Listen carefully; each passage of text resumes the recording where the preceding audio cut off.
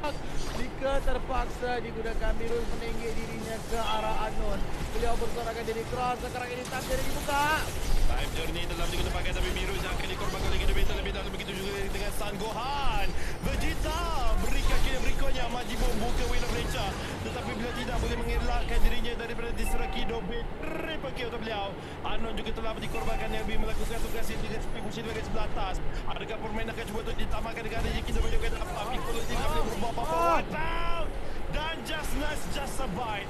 Mereka terus saja dua berbalas satu kemenangan dan menempatkan diri mereka ke pusingan grand final.